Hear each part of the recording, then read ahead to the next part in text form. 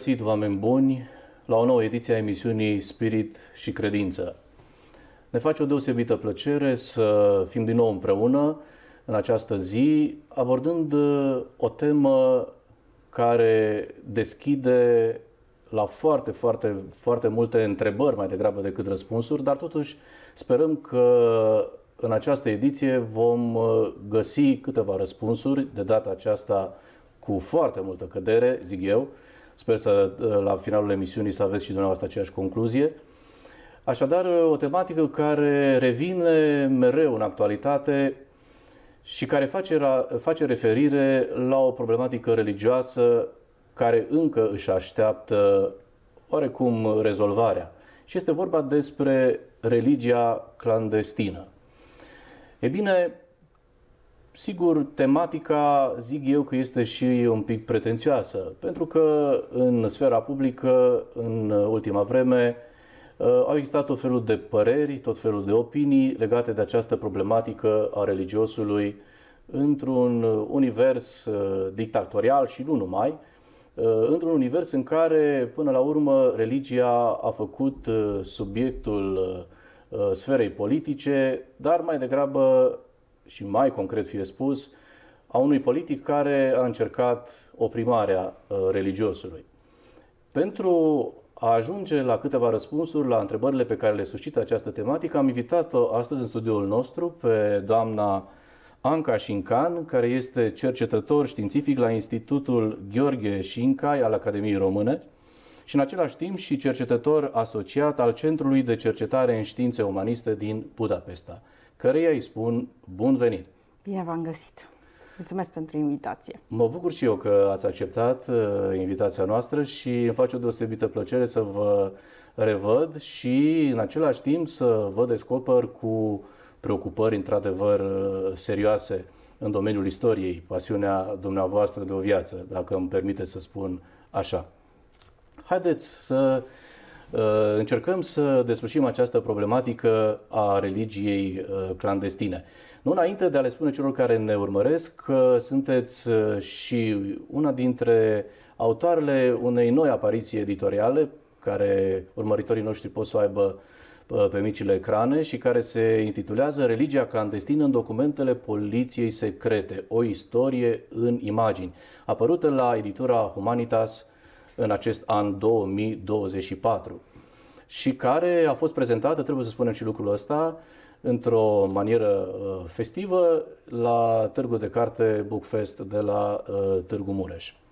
E bine, haideți să încercăm să dezvăluim celor care ne privesc ce anume a stat în spatele acestei idei care, a concret, care s-a concretizat în această carte. De ce religia clandestină?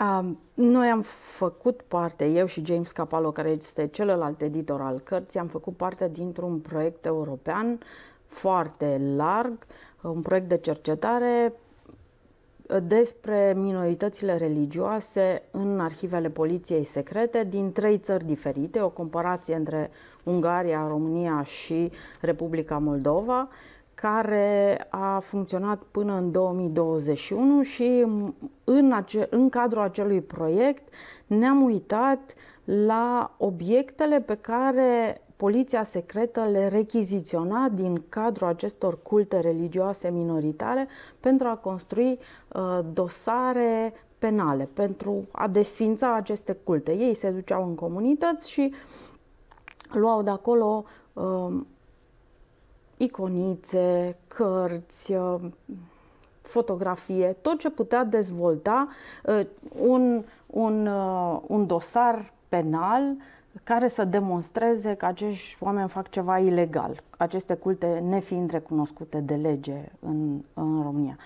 Partea a acestui material a fost apoi dus în comunitățile din care a fost luat, a fost copiat la arhive și dus de către cercetătorii din proiect în comunitățile respective. Pe baza acestui material, noi vorbind cu oamenii de la care acestea, aceste obiecte au fost luate. Ulterior, parte din aceste obiecte au fost introduse în uh, expoziții, au fost în România patru expoziții um, la București, la Timișoara, la Blaș și la Cluj. Um, și am concretizat până la urmă și tot acest material și într-o carte la editura Humanitas. Da, trebuie să vă felicit pentru condiția uh, grafică de excepție și în același timp pentru felul în care editura Humanitas a achitat de această poveste editorială. Și haideți să încercăm să explicăm uh, pe înțelesul tuturor ce înseamnă ideea de clandestin, de clandestinitate. Cred că conceptul suferă câteva uh, notații explicatorii. Nu, nu ne-a plăcut acest termen. Nu este termenul nostru, este termenul cu care se referea poliția secretă la aceste minorități religioase care erau ilegale. Clandestin la noi are acest, această conotație de ascuns, are o conotație puțin negativă. Pot să folosesc și pozitiv, dar în general conotația lui este uh, sensibil negativă și nu ne-a plăcut acest cuvânt. Uh, de ce am ajuns să-l folosim? Pentru că traducerea cuvântului teoretic pe care îl folosește vestul pe această temă, la noi nu se potrivește. Cuvântul este underground, sub pământ. Uh, prima dată când el a fost folosit uh, a fost în cartea lui Richard Wurmbrand uh, cu Dumnezeu în subterană, în care își povestește amintirile din închisori. Universul concentrațional de data asta. Din închisorile comuniste. Um, am fi preferat cuvântul respectiv, dar este și el problematic la rândul lui. Um, și atunci am folosit ceea ce uh, folosește uh, poliția secretă, clandestinitate. Um, așa sunt numite toate aceste dosare la CNSAS, în arhivele Consiliului Național pentru Studierea Arhivelor Securității. Uh, acolo nu sunt doar arhivele securității, sunt și arhivele Poliției Secrete de Interbelic, arhivele siguranței, deci aceste um, dosare țin și de perioada interbelică și ele sunt denumite uh, în felul acesta. Sunt episcop clandestini, comunități clandestine. Deci cuvântul câteva apare... ca să putem să avem un punct de reper. Există, de exemplu, în carte, tratăm, tratăm urmărirea operativă cu, cu fotografie a episcopului Ioan Dragomir, care se face, episcopului greco-catolic Ioan Dragomir, care se face până și la moartea lui, adică în momentul în care e mormântarea, ei continuă să facă această supraveghere or, uh, operativă, uh, fotografiind tot ce se întâmplă acolo. Și el este tratat uh, pe, pe dosarul lui, este episcop clandestin. Uh, toate, toate acestea sunt uh, tratate, uh, episcop Evlogie Oța, episcop de stil vechi, și pe dosarul lui tot așa apare uh, episcop clandestin. Trebuie să le spunem celor care ne urmăresc că nu vorbim despre acest fenomen al clandestinității neapărat sub dictaturi. Poate că ne spuneți uh, care este primul moment și dacă nu mă înșel și mi-aduc bine aminte, am citit în, uh, în cartea dumneavoastră, uh, cred că interbelicul este momentul în care începe acest fenomen într-o comunitate din Moldova, dacă nu mă înșel, Uh, fenomenul uh, uh, introducerii religiei în clandestinitate. Deci nu este legat neapărat numai de, de dictatura comunistă acest fenomen. El ia amploare în dictatură, dar mi se pare că are ca și punct de geneză interbelicul. E adevărat? El are punct de pornire formarea statului modern, pentru că în momentul în care se legiferează poziția religiei în societate, sunt unele care sunt sau unele care nu sunt recunoscute de către stat. Uh, în clandestinitate intri și ieși în momentul în care statul decide să intri sau să ieși. Noi am început cu interbelicul pentru că am mers pe durata aceasta a scurtului secol 20, uh, pe durata lungă, dar uh, putem să mergem și în secolul XIX dacă vreți să găsim produs al clandestinității religioase. În, um, pentru foarte mulți, este un șoc în momentul în care noi le spunem că aceste dosare, practic toată această muncă pe care o face siguranța, Poliția Secretă a Interbelicului, este adoptată, este păstrată de către, uh, de către Poliția Secretă Comunistă. Se face o translație.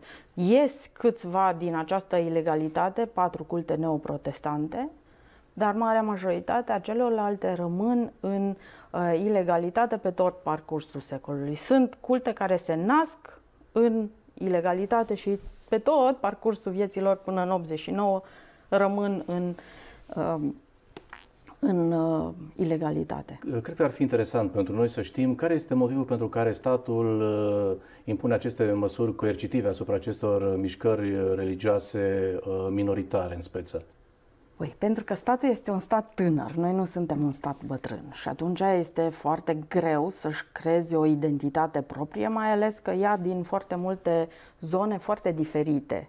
Și toate zonele astea vin cu specificul lor și tu brusc în 1918, bine, dar un punct de referință nu este doar un singur an, dar brusc te trezești că ai români, dar nu se definesc la fel ca românii pe care, cu care erai tu familiarizat și spun ok, noi suntem români, dar suntem în același timp și greco-catolici, nu suntem ortodoxi cum sunt cei, suntem români, dar în același timp suntem uh, temierci alte uh, culte religioase. Și atunci trebuie, uh, statul trebuie să definească mai larg sau mai restrâns în funcție de posibilitatea lui de a controla. Cu cât este mai uh, dispus la control, la un control mai puternic, cu atât legislația asta se se face mai strictă. Deci cu cât statul devine mai totalitar, autoritar, uh, această definiție a legalității și ilegalității, a definirii Uh, cetățeanului se restrânge. Și atunci dacă nu intri în acea definiție restrânsă a statului, și o să observați de-a lungul anilor 30, definiția este român egal ortodox. Și atunci a exclus brusc o mulțime de alți oameni. Și uh, aceștia vor încerca să intre, în, să lărgească această definiție, în același timp cel cu care ai făcut definiția, ortodox egal român, va încerca întotdeauna să mențină acea definiție restrânsă a uh, românului, încercând să excludă pe ceilalți. Deci este o luptă uh, a minorității și majorității, a ce înseamnă să fii uh, minoritar și ce înseamnă să fii că majoritar. tot vorbim de stat tânăr, stat. cred că aici se leagă de ce spuneați adineauri și următoarea idee uh, a faptului că Uh, această precocitate statală despre care vorbim duce până la urmă la a vedea pericol în orice nevinovată comunitate pentru statul uh, unitar român care se coagulează în jurul datei de 1918 la care făceați referire. Însă, am uh, rămas uimit răsfoind uh, cartea pe care ați edintat-o împreună cu James Capallo, despre care ați pomenit adineauri, despre faptul că uh, femeile au, au jucat un rol important în aceste uh, comunități uh, clandestine. Uh, puteți să dezvoltați puțin acest rol al femeii în comunitatea clandestină și poate că faceți referire puțin și la uh, cazul Vladimireș, care, deși nu este o mișcare religioasă minoritară, totuși își pune amprenta uh, oarecum uh, uh, destul de, de bine în fenomenul pe care îl, îl descrieți în, în carte. Acum, um, pornesc de la, de la o, o mică istorie, o istorioară. În momentul în care oamenii au plecat la război, fie el la primul război mondial, al doilea război mondial, um, preoții au lăsat biserica în mâna femeilor. Deci este un, un motiv, un light motiv în predicile, în predicile de plecare la război să lași biserica cuiva. Bărbații plecau la război și atunci femeile se ocupau de biserică. Deci este în, într-un fel, dacă vreți, putem să asemănăm intrarea asta în clandestinitate cu o plecare la război pentru că primii care au fost arestați din uh, comunitate au fost clericii și apoi au fost bărbații comunității și cine a rămas în comunitate au fost femeile, iar acestea au început să se ocupe de păstrarea uh, spiritualității, de păstrarea uh, religiei și ele au devenit, au, au preluat funcții de cateheți, au preluat funcții de administrare în cult pe care nu le aveau înainte. Acum, eu tot ce v-am spus eu poate să fie complet neadevărat. De ce? Pentru că până la poliția secretă, în dosarele clasice de uh, în dosarele na- uh, Arhivei Naționale, femeile nu apar. Apar ca numere. 20 de măicuțe aici, 30 de măicuțe dincolo. Nu apar neapărat individ, Uh, individul, femeia individ, în dosarele poliției secrete, care sunt construite altfel, sunt, se referă la viața privată, brusc apar foarte multe femei. Acum, noi nu știm dacă femeile nu s-au comportat la fel în aceste comunități și înainte să vină aceste uh, regimuri care le-au Opresive. introdus în, în ilegalitate, doar arhivele pe care le citim sunt diferite.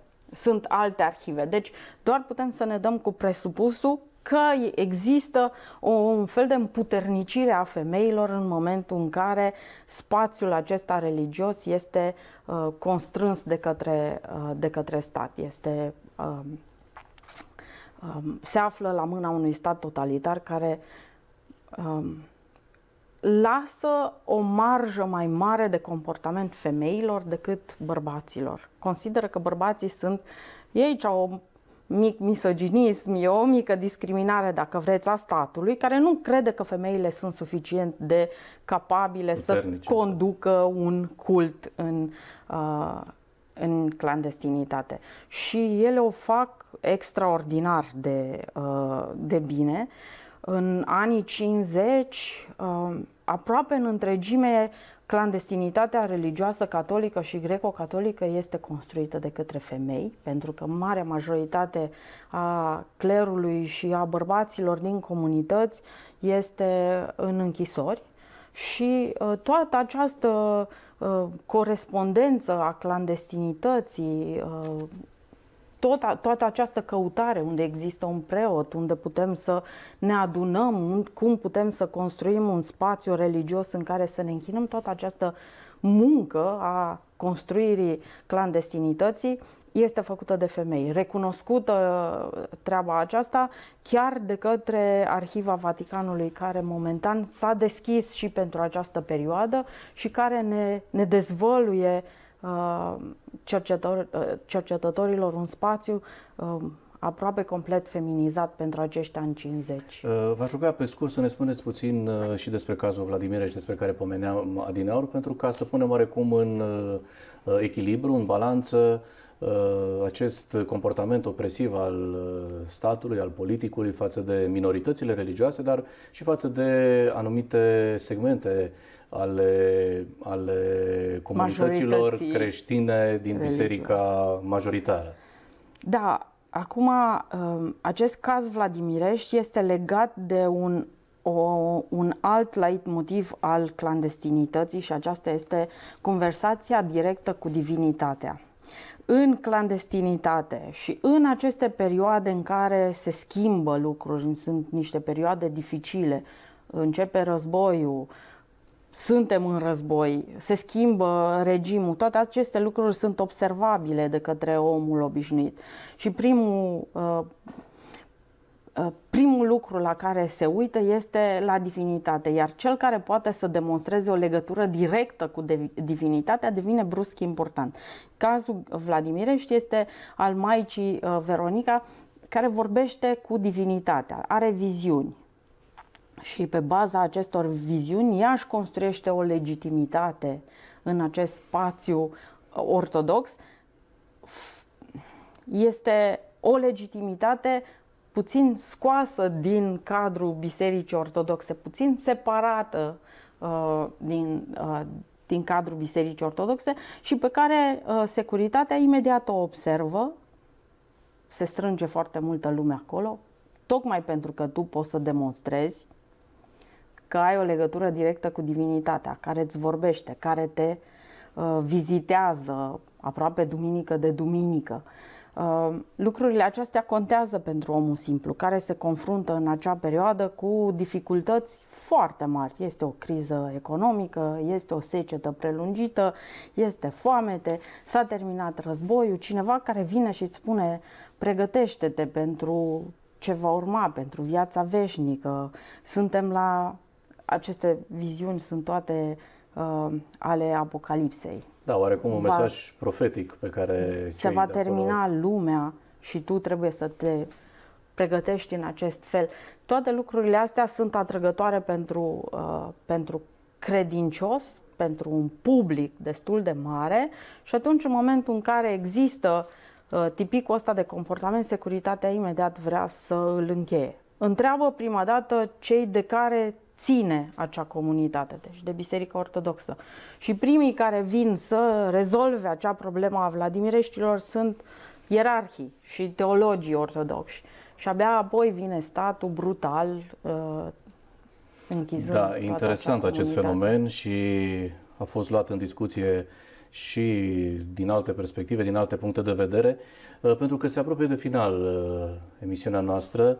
Îmi imaginez că în spatele a tot ceea ce ați realizat uh, în acest volum stă o muncă, îmi place să o numesc, de pălmaș al spiritului sau o muncă de adevărat ognaș, pentru că cercetarea arhivelor ia și răbdare, ia și înțelepciune, ia și foarte, foarte mult echilibru în ceea ce privește culegerea informațiilor și punerea lor uh, pe fila cărților și apoi oferită publicității. Pentru cei care vor să intre posesia acestei cărți, uh, mai citesc câteva uh, titluri. Cartea are șapte capitole. Literatura religioasă și samizdat în clandestinitate. Poliția secretă, și aici este vorba despre metode de investigare ale clandestinității religioase.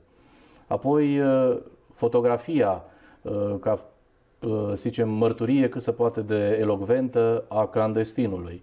Și apoi, evident, un capitol final intitulat generic și sugestiv Trecutul confiscat. E bine, mulțumindu-vă pentru această muncă și pentru tot ceea ce oferiți prin cercetarea dumneavoastră publicului larg, uh, v-aș provoca cu o ultimă întrebare. De data aceasta Aștept un răspuns scurt, pentru că timpul ne presează, evident, inamicul numărul unu, timpul. Uh, ce alte proiecte aveți în uh, derulare? Ce alte preocupări aveți în perspectivă? În momentul ăsta um, scriu la, um, la o carte împreună cu soțul meu, Ionuț Piliuță, scriem la patru mâini o carte despre această clandestinitate ortodoxă clandestinitatea majorității, despre aceste grupuri din interiorul Bisericii Mari care s-au opus sau care au făcut un pas un pic diferit de cel al majorității bisericii și au intrat în vizorul uh, securității. Asta, e, asta este cartea pe care o pregătim tot la Humanitas, iar în, uh, în timp lung uh, sunt parte dintr-un proiect, sunt cercetător într-un proiect la Institutul de Istorie din Budapesta, un proiect tot așa uh, comparativ în care cercetăm um, jurământul de credință depus de cultele religioase în fața statului. Cum se schimbă acesta în durata lungă um, în, de la înființarea statului modern și până astăzi. Mulțumim de vă așadar pentru prezență și pentru dialogul cordial pe care l-am purtat împreună. Uh, așadar, dragii mei, vă rog pe dumneavoastră să concluzionați. Nu înainte de a încerca să gândiți cât se poate de, de elegant uh, următorul aspect. Și anume faptul că în decursul timpului religia a fost violentată fie de stat, fie de puterea politică, fie de alte uh, organizații opresive. Însă, dincolo de toate, atunci când religiosul nu s-a putut manifesta la vedere, s-a retras în clandestinitate. Cert este faptul că acest fenomen religios, până la urmă, n-a putut să fie îngropat de nimeni și de nimic. Trăim cu această speranță că în continuare, evident, fără a brava și fără a face din asta prea mult caz, trăim cu această speranță că religiosul e acolo întâi de toate în inima fiecăruia dintre noi. Pentru că, noi așa, Dumnezeu, înainte de toate, e acolo în inima noastră. Și prima întâlnire cu El este și rămâne acolo, în lăuntrul omului. Așadar, gânduri bune dumneavoastră tuturor celor care ne-ați urmărit. Doamne ajută!